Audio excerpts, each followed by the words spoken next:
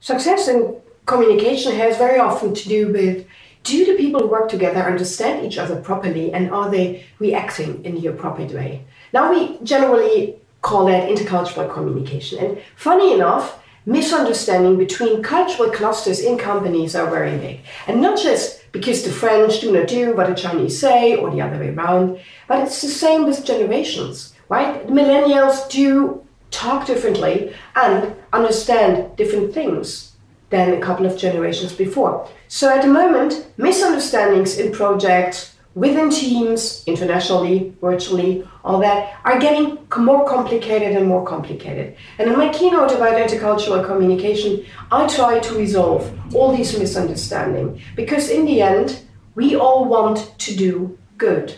We want to have easier results. We want to spend more times in a pleasant environment. And very often we try and push very hard to do it my way and our way instead of listening and understanding what other people, other cultures do. So we need a new conversation intelligence. And when we have that new conversation intelligence, projects are getting much easier. Your teams will work together more properly.